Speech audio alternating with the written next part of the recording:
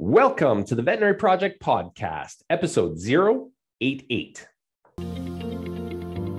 Welcome to the show created by vets featuring absolutely no pets. This is the Veterinary Project Podcast, hosted by Dr. Michael Bug and Dr. Jonathan Light. Our resident veterinarians have swapped out their stethoscopes in favor of microphones to bring you the Veterinary Project Podcast a show focused on real conversations aimed to connect this amazing profession full of remarkable people. Through the sharing of collective stories and wisdom and connecting over the many unique challenges we face, we invite you to join our community of veterinary professionals leading intentional lives. And now, here are the hosts of the Veterinary Project podcast, Dr. Michael Bug and Dr. Jonathan Light. Dr. Natasha and Dr. Kat Thank you very much for joining us this morning. This is a podcast that actually, in the big scheme of things, has come together very quickly and yet uh, is likely one of the ones that I'm most excited about because of the topic and conversation we're going to get into today. Uh, Dr. Mm-hmm. Natasha, you and I work together on ABVMA Council. We've got to know each other over the last two years.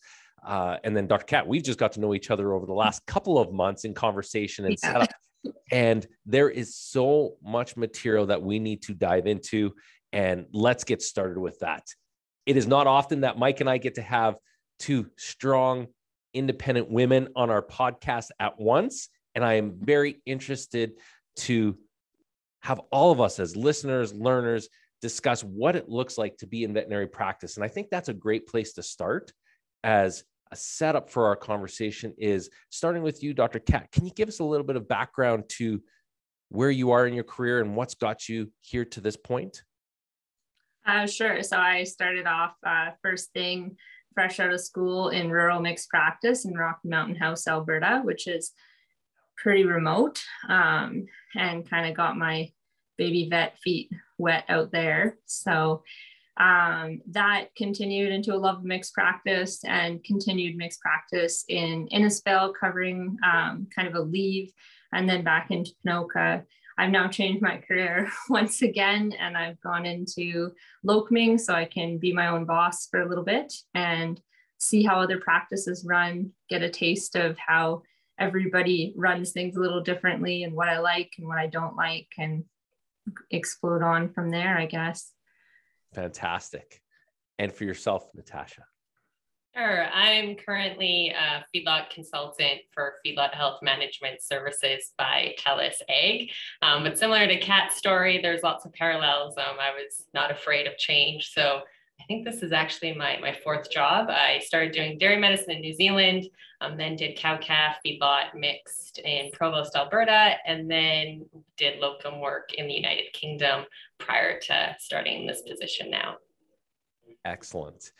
And if I am correct, well, you are same year grads at WCVM, Western College of Veterinary Medicine, mm-hmm. and it mm-hmm. was only a recent reconnection to then see the parallels within your careers and how they've come forward.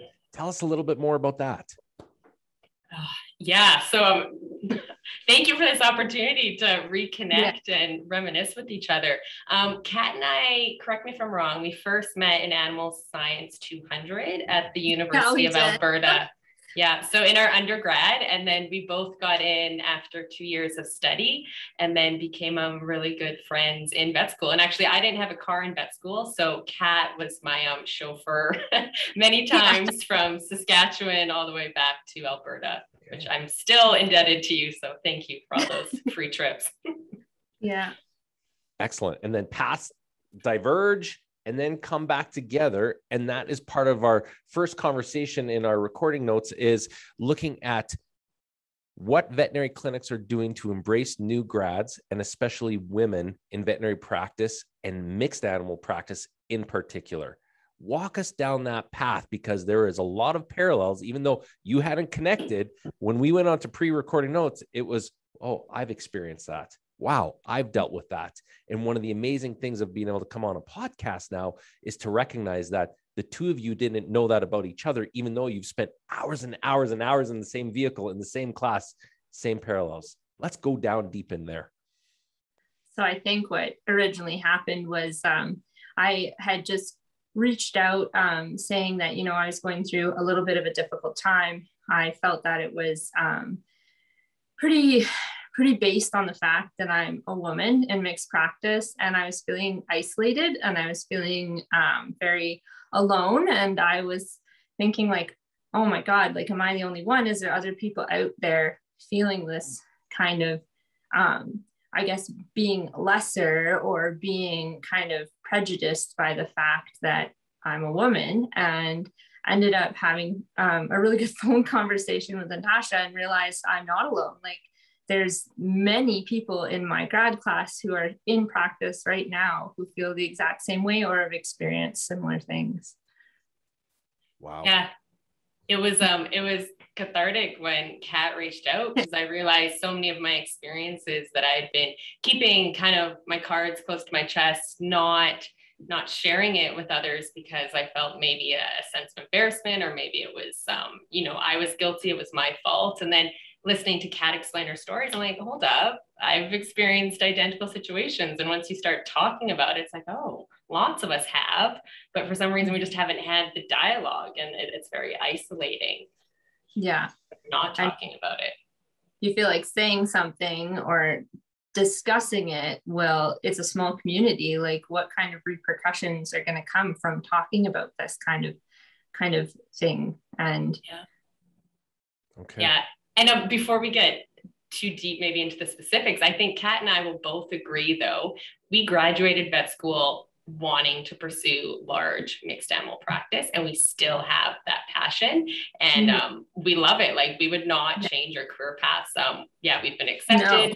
Um, yeah. we've been mentored by clients and mm-hmm. employers but there's just a few details that um, are pretty important i think that we need to talk about it but by all means it's not a knock against large no. animal practice we still love it and are so passionate about it but hopefully maybe we can um, make it easier for others going through something similar.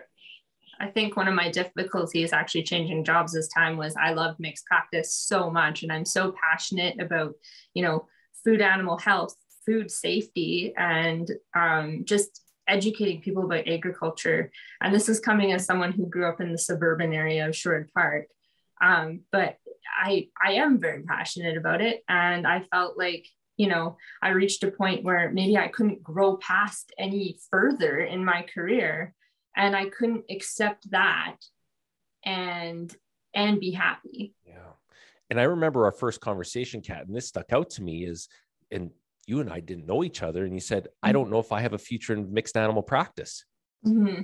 And that hurt as a employer in mixed animal practice that wants only more strong, independent women to be able to see and find a place in mixed animal world. So there was a few adjectives that you brought up, Kat, in that initial discussion: feeling isolated, alone, prejudiced, sense of embarrassment. Mm-hmm. Do you mind going into those a little bit further for us?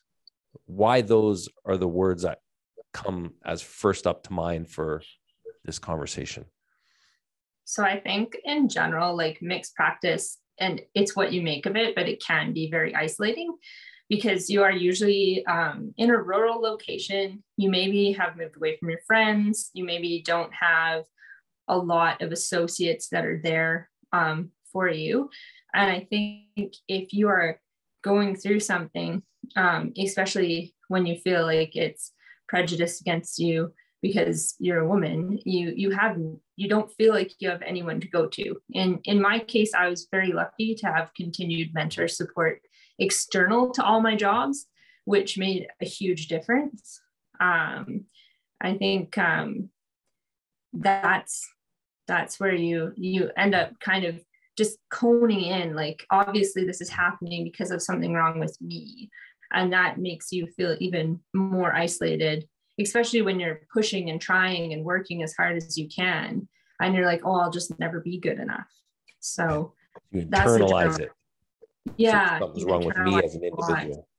Yeah. And then um i've forgotten what the second point was there that's all uh, right no it was yeah. related to to some of the adjectives you used in that initial mm-hmm. Um, mm-hmm. discussion which i think then sets up for that conversation. Natasha, similar feelings, different. I don't want to put words in your mouth. No, I'm I'm very similar, and you know, hindsight's 2020, and I'm sure we're all aware, or if we're not aware, we can get on Google and type in gender discrimination in veterinary medicine and large animal specific medicine, and the stats state that it's there. Um, but then when you're, um, you know, maybe at conferences or with coworkers, no one no one talks about it so then if it does happen to you you're i don't know kat i'm not going to speak for you but my reaction was like oh like what did i do wrong what what yeah.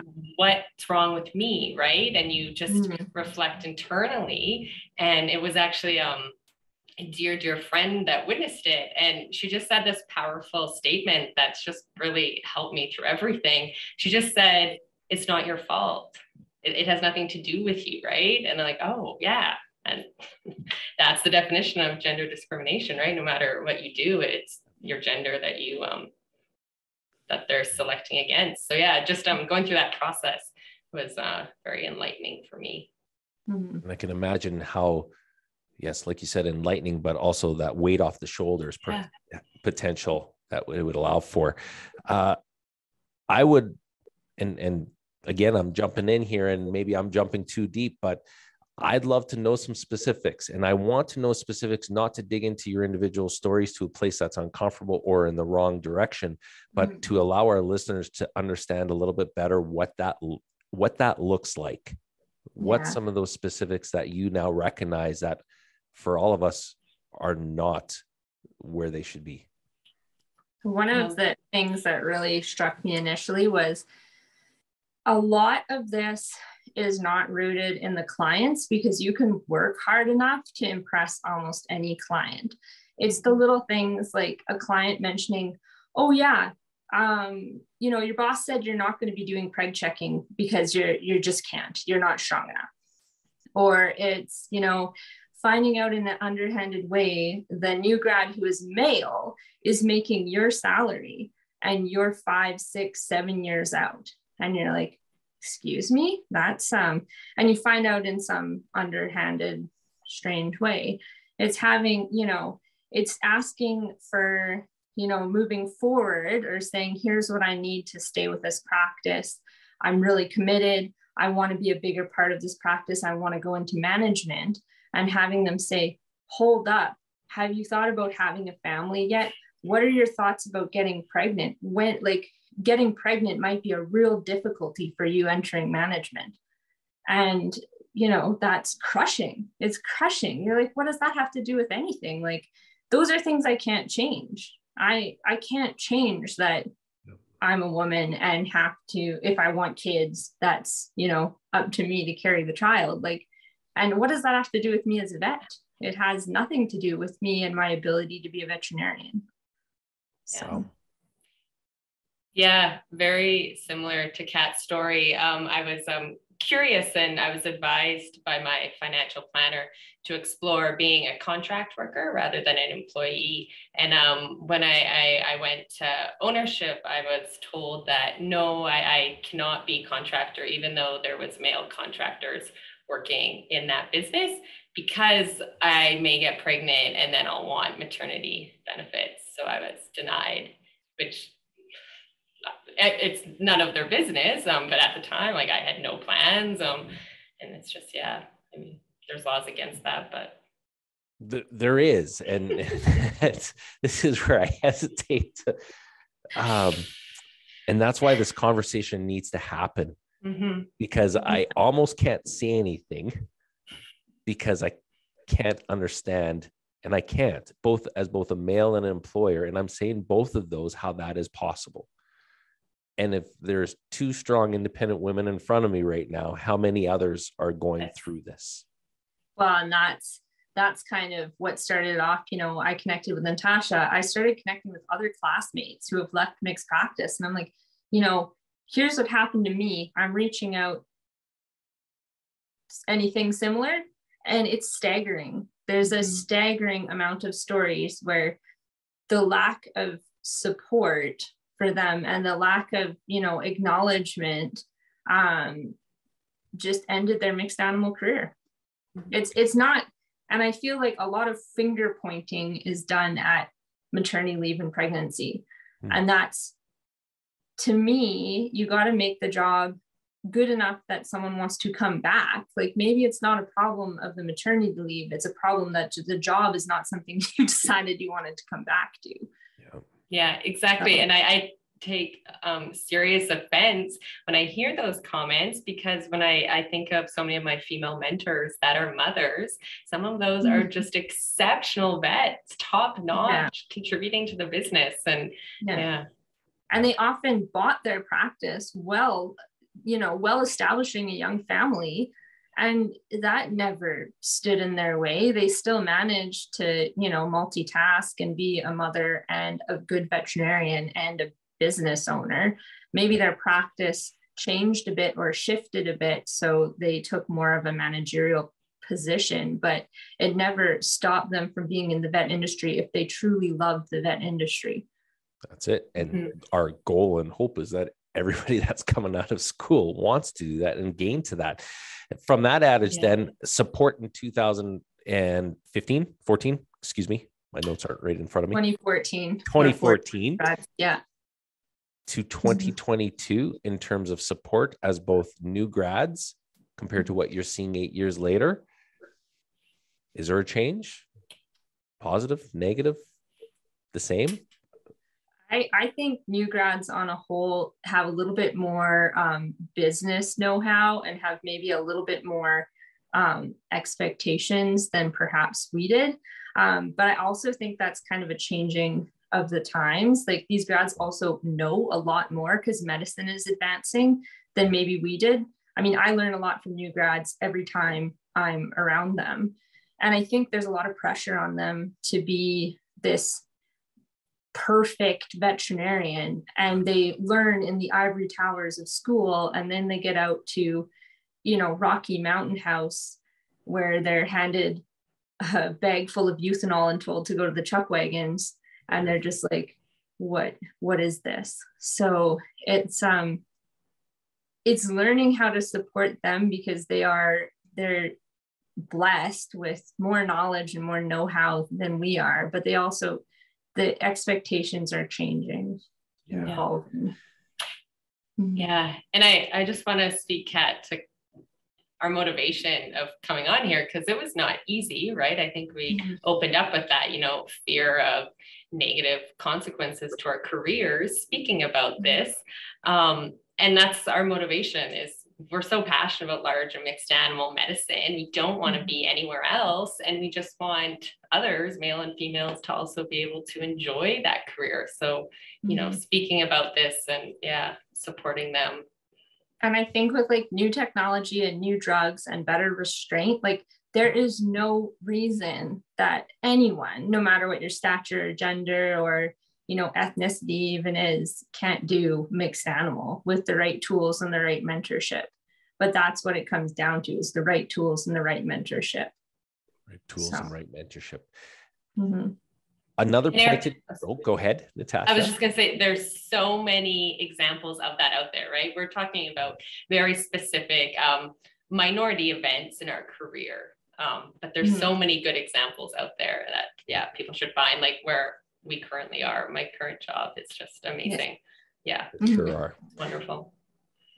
I before we go to next steps, I want to ask a question is do you think that the struggles and challenges you have gone through have held back potential opportunities in your career? That's kind of a difficult question because I feel like some of my struggles have like built me into the vet that I am today mm. and made me more outspoken. It's made me more able to conquer those things that I know like vets in general are very type A. We're often very anti-conflict, and I know that that's kind of how I started my career. And then I realized like if who if if I don't speak for myself, who will, right? Like if I don't ask these hard questions, who will? Is it uncomfortable?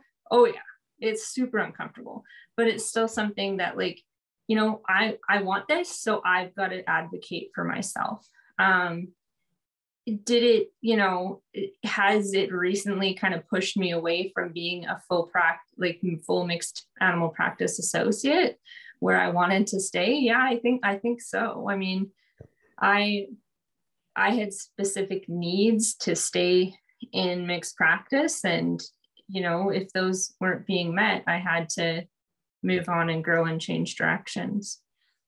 Yeah. Yeah, very similar. Um, I think in at the beginning of my career, I was quite naive um, to this. So I'm thankful that I did have the experiences to kind of um, help me mature and understand the world better. And it was a blessing, um, most definitely for me. And I recognize because I had um, the courage and opportunity to change positions. Um, and because of that, I changed jobs and ended up to where I am today, which is pretty much my dream job and where I want to be. So excellent. Yeah. I think it also helps you realize like there's other stuff out there. Like yes. if you're if you're unhappy and you know you're feeling the toll on your mental health and there's things that you just are not really comfortable with in the station you're at, like there is other opportunities and there's so many other opportunities in veterinary medicine where you can still have impact on large animal or whatever you like doing just in a different direction yeah exactly yeah well let's talk about that a little bit mike any points Yes. I, I, could see him chomping, getting ready to go there. I honestly don't even know where where to go because there's so much. Like, um, I guess I don't want to make a blanket statement and say like mixed animals hard, even though I I would say my experience, like yes, it is it is hard, and I totally understand like feeling isolated.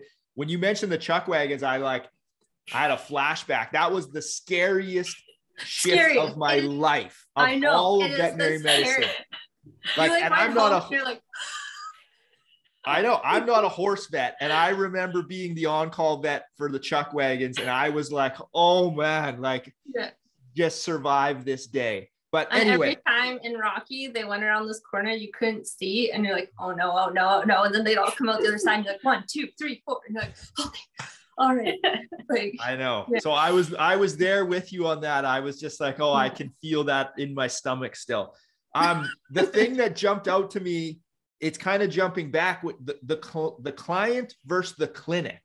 That was a mm-hmm. bit shocking to me because I was kind of expecting more stories of maybe ignorant clients and hearing that you know you felt maybe more of it coming from the clinic uh, is disappointing and and to be honest for me was shocking to hear that so i almost want to jump back to that and just dive in a little bit deeper, like client versus clinic and where you're getting that from?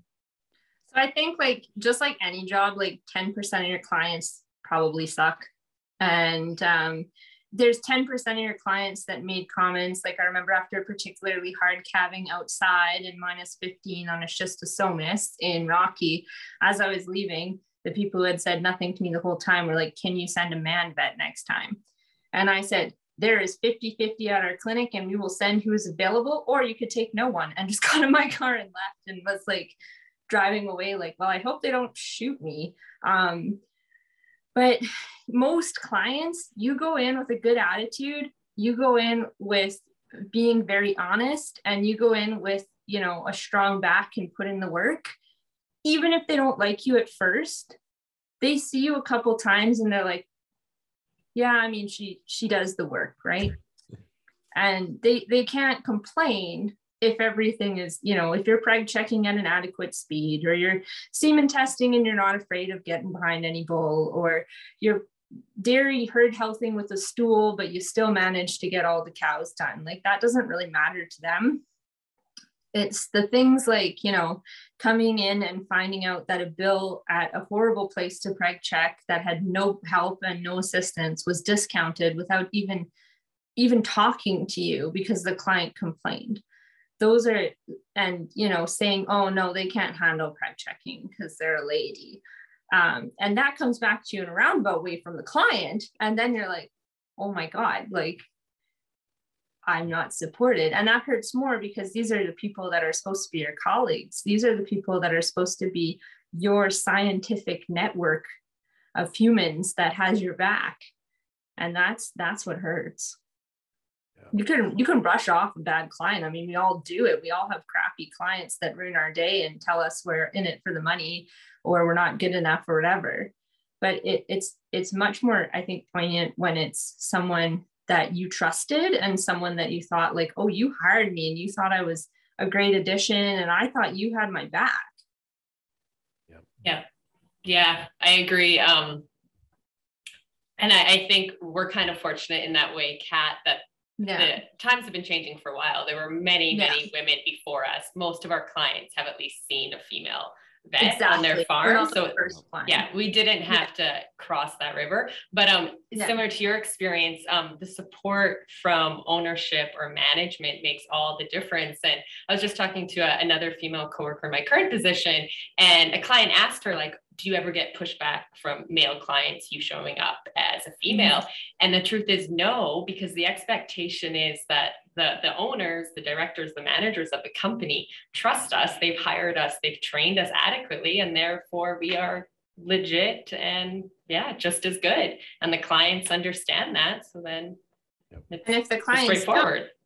That's up to the management too to be yeah. like you know, if the client comes in and is like, this is a calving, I want you to call in one of the male vets. No. And and the male vet gets on the phone and says, look, buddy, like all our females are hired by us. They're good.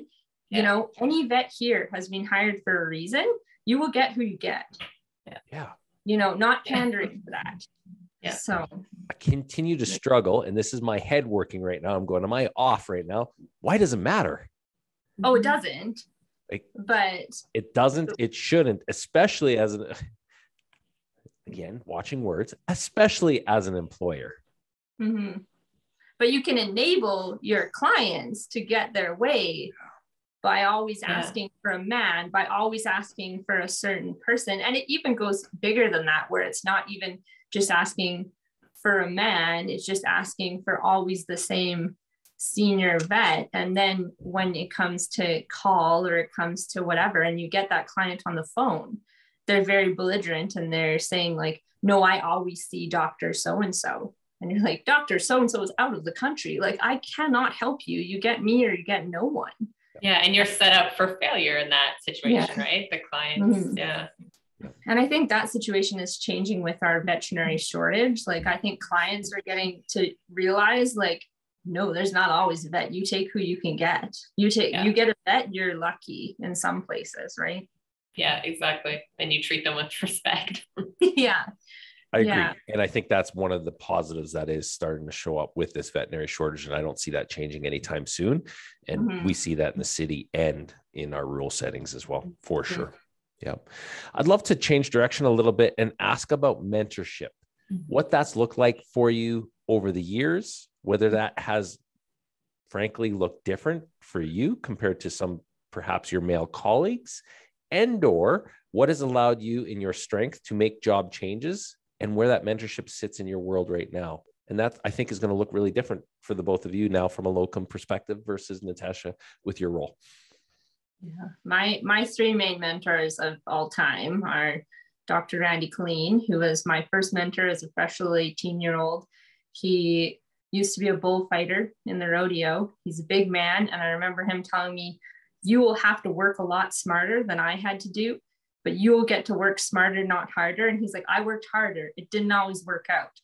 And he never doubted me, not for one second. Um, then I had Dr. Trisha Dowling, who also being a very powerful female role model, very big into mindfulness, big into, you know, supporting other veterinarians. And she taught me a lot about, you know, we have to make, we have to make ourselves better. She would always say the veterinary profession eats their young. And I didn't really understand that until now.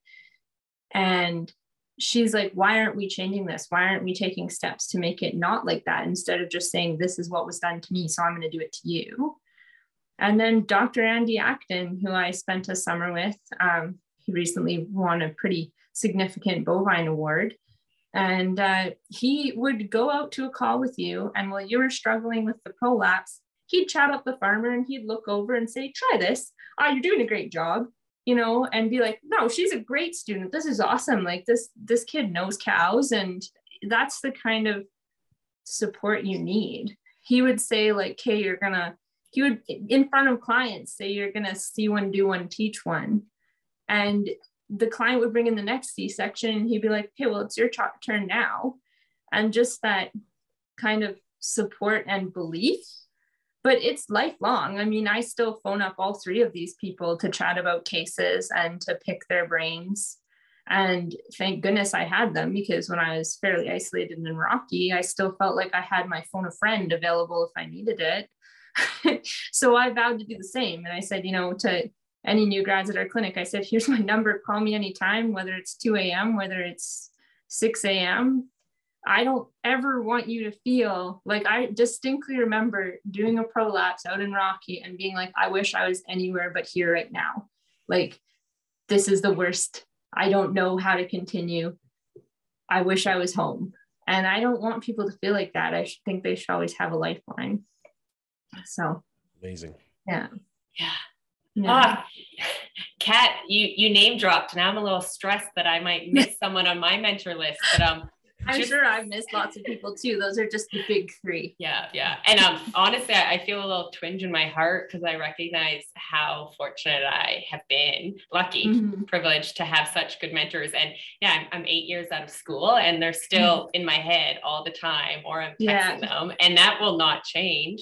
Um, and yeah, a few that really jump out were um, all the employees at Border Vet Clinic. Uh, Mark Robitaille was one of my my favorite, and I think he was um, really unique and showed me a few specifics, which, um, especially getting back to gender in a, a large uh, male-dominated industry, um, he believed that I could do anything he did. He continuously told me that, but he also recognized that there was differences because I was a woman. and this is kind of a, a, funny story, but we were semen testing at a client out in the Bald Prairie, and it came to take a lunch break. So all the men just go behind the pickup to relieve themselves, and I'm like, oh, I gotta go. but and before I said anything, he's like, oh, like let's go drive so you can have some privacy for you to go to the bathroom. And that was just like, wow, like he recognized that it was a little different. And that's just one story, but there's a long list of that. So I think that's important, recognizing, you know, uniqueness. It's great. Yeah. Yeah. I, I wanted to jump in. Um, I mean, all of these mentorship relationships sound amazing. How did you cultivate that? Like if we rewind all the way to the start and sort of pick one of them, it doesn't doesn't matter which one but how do you get to the point where eight years later you can just pick up the phone and jump mm-hmm. in? Like, how did that seedling sort of start? Like, is there any anything that stands out to you? Because I know when I think of mentorship, like it, it it's a bit of a two-way street, right? Yeah. Where you're giving something or you're leaning in and then they recognize that and then they give back to you and then you know fast forward 8 years and you have this amazing relationship. So any sort of tips for maybe a really new grad listening or a student on how they can plant that seed of mentorship? Communication. Communication is really important and showing appreciation. Like, we're really bad at acknowledging each other for good things in veterinary medicine. We're extremely good at picking apart other vets for things they did poorly, um, which is becoming more and more apparent to me, which is disappointing. But you know, if someone helps you out and you really appreciate it, you can say, "Hey, man, like I really appreciated that. Thanks for showing it to me." And I know Becky Taylor always talks about like really meaning, putting meaning behind your words as well.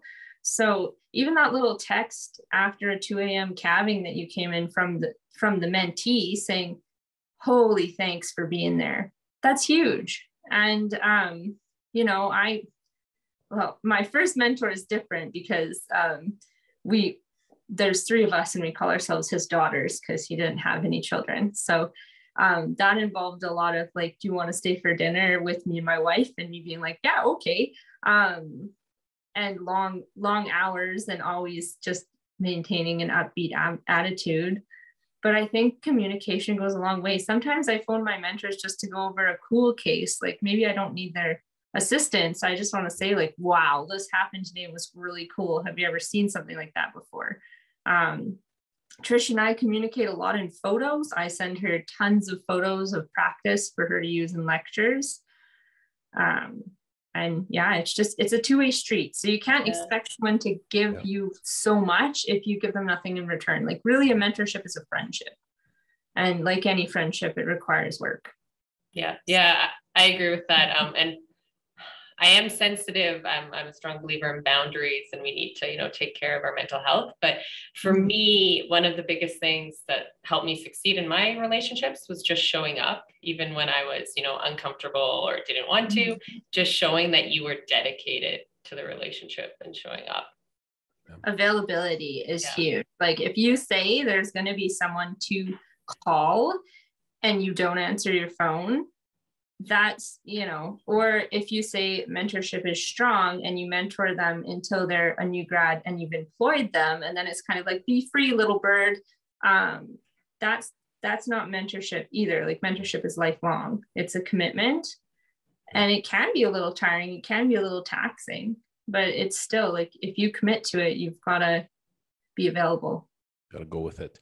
Mm-hmm. what i'm hearing uh, from both of your stories is that also mentorship is not specific to be just case based mm-hmm. and i'm curious if that has evolved over time and it may have been more case based at the start of your careers versus now and i also bring this up because i speak with a lot of students and a lot of students say what's your mentorship look like what kind of mentorship program do you have and i am based on becky taylor a lot and pushing mm-hmm. back and going please define what mentorship looks like to yes. you because we may I tell every single student that comes through on what it is. So I I, yeah. I am curious because the aspects of mentorship could be very different and yet still both rewarding to the end to both of those partners in that relationship. Yeah, I think that's interesting because yeah, at the beginning of my career, it was well, I don't know what to do with this case. I'm going to phone somebody, and especially with Trisha, like, and I mean, Trisha, Michael, I'm sure you know, is like very involved in wellness and mental health. Like, it became almost more of like a peer support and, you know, mental health check ins, which is very different than I think a lot of students even know they need coming out. Um, I find I'm going to reference the Edmonton firefighters because yes. my spouse is an Edmonton firefighter, but they have something called a peer support network. And this is peers who have gone through their own struggles, whether mental health or unrelated, um, that they have listed that are in your hall or your district that you can phone if you are contemplating, say, seeing a psychologist or say seeing like a counselor to just give you that little like push to go the right direction. And that has been huge for the firefighters because it's like I can talk to John, who I know and I've worked with, and I know that he's a cool guy. And he's going to tell me, yeah, it's okay to go to a counselor. And um, that's where I took the mental health um, uh, first aid in the fall. And I think that's huge for a clinic. Like, I would encourage every clinic to have someone who's taken that because we all know the mental health strains and that part of the career and that's still a little bit taboo to talk about as well.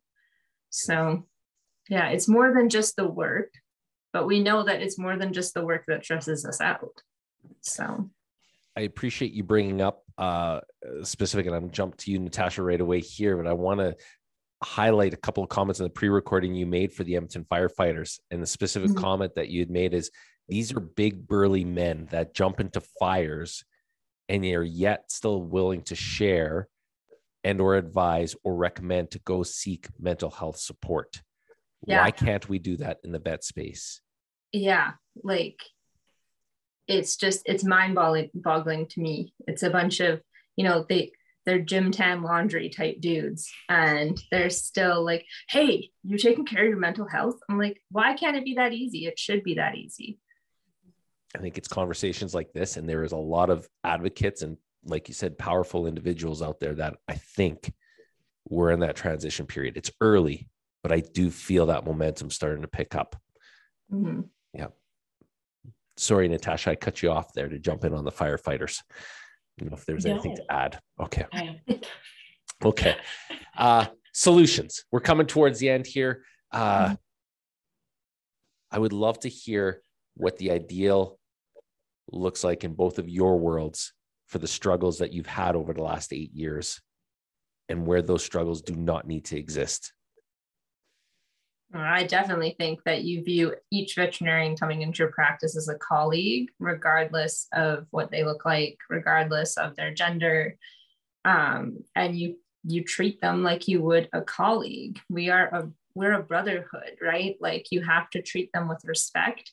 It's not necessarily treating them as family because I don't like people that say we're a family because some people's families aren't even great, so they don't like that term. But um, it's respect, and it's respect in the terms of communication and being very open. Um, and allowing those difficult conversations to happen, allowing you to say, hey, you know, Ryan made a complaint about you being out there preg checking. Can we talk about this a little bit? Um, you know, was there anything that happened that was strange or difficult or whatever? Because um, he he's you know yelling about wanting a discount, and it's instead of doing that all behind the scenes, it's like these are your colleagues. You can talk to them. You can communicate to them. You know. Yeah, yeah, I agree, Kat. And like the beginning of our conversation, we we talked about gender discrimination. We didn't say that mm-hmm. term, but that was what it is. Mm-hmm. And um, I think it's important to note that um, discrimination or, or, biases are not intentional, right? I understand no. that even in myself. So just hope um, I, I always challenge myself and those I work with, like just to question, right? Be open to having the conversation, like, oh, do I mm-hmm. do have a bias here? And explore yeah. that. I think so many problems lie there. Just not yeah, exploring that. You know, accepting, and if you have like made a faux pas or a mistake, hmm acknowledging that and using apologizing in a way that is not passing the buck, that is an appropriate way to apologize, will do more than anything else. Yeah. So, it, because you have to acknowledge the other person's feelings, even if you don't necessarily agree yeah. or yeah. understand. Yeah. So, yeah. Taking that few minutes of perhaps an uncomfortable situation and seeing mm-hmm. what great things can happen on the other side of it if both individuals are coming from a place of respect. Yes. And, and there's a big humility. Yeah, yeah. And vulnerability, like beautiful mm-hmm. things can happen with what I've witnessed. Yeah. And I think it's yeah. it's interesting that like if you allow yourself the ability to see the other side and like accept that you might not change their feelings, but at least they can acknowledge yours. That's it's an interesting space to be in. Like I've been with Becky Taylor's communication help, trying to like push my boundaries on uncomfortable conversations and apologies in different ways. And it's amazing that like what you said and interpreted and felt and what they said and interpreted and felt can be two like vastly different things but you also you have to respect both sides so and i you know i think that um, just the acceptance that there's going to be more of us in veterinary medicine. So if you want employees you better uh, figure out a way to do that. Um, that's what it is. So, yep excellent. Yeah. mike yeah. anything to add on that point? See him smiling over there? No i'm good. I'm just taking it all in. Mm-hmm. yeah. more conversations to have. I um, before we go to the next steps, really appreciate the both of you coming on, being so open, vulnerable, and hopefully uh, being great examples for an individual or individuals that are listening to this podcast and going, wait a second, I've experienced the same. No one has shared this. I may take X next step to either help myself share in an uncomfortable conversation that leads to change. That's where we all need to be. So that, I that very much cool. respect and appreciate uh, this conversation in a big way. More to come.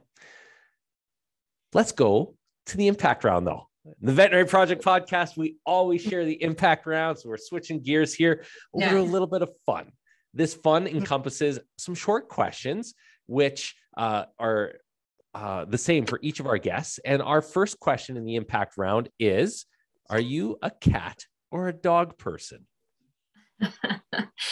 um, well, I have three cats, so I think we're probably cat people. Um, though I'm also a dog person, but I'm a bit of a dog racist uh, for Shelties only. so I love Shetland sheepdogs. Every time one comes in the clinic, I have to run to it and like ogle over it. But um, mini Shelties or the big Shelties? Uh, the like the little the ones. little guys. Like, this yep. is literally how most of Trisha Dowling and I's relationship bloomed. Was like, you're Irish, I'm Irish. You like Shelties, I like Shelties, and like, yeah, we're best friends. We're best friends now. Yeah. Um, and for myself, I, I feel a bit like a hypocrite. When I was in um, vet school, I was probably a bit obnoxious with my passion for large animal medicine. And I, I think I, I, said out loud I would never have a cat. Um, but I've had multiple cats and they're my fur babies. And I also have a dog and I cannot choose between them. Yeah. the political answer as our future ABVMA president right there. Jonathan, you weren't supposed to bring that up in this interview. ah, yes. uh, I cannot edit that. I don't know how. Oh, good. True or false? I wanted to be a veterinarian since I was a kid. Ooh, that one's true for me. I uh, drew my entire family as horses when I was in kindergarten. My my father brought this up when I got into vet school. Finding out I couldn't be a pony was very tragic, so I decided I would fix ponies we go. Uh, true for me. I, I, spent a long time though trying to fall in love with something else because my older sister is a veterinarian and I did not want to be a copycat, but I, I did anyways. You went that way. For the both of you, how would your friends describe what you do for a living? Um, so I uh, I don't talk with my like main group of friends here much about my job because they're mostly IT and HR and um, lawyers and engineers, and they don't want to hear about poop at all. Um, though my uh, my brother, who is a surgeon, describes me as a non-sterile surgeon. So, go figure. Go figure. Natasha, and for me, um, I, I, don't think any of them adequately could. I, I think it's uh, they know I, I, travel a lot. I'm on the road a lot. Uh, they probably throw in a little spice of you know Western lifestyle, Yellowstone romance, but um, that's pretty far from the truth. But they they know I'm I'm in rural areas with farmers. Yep.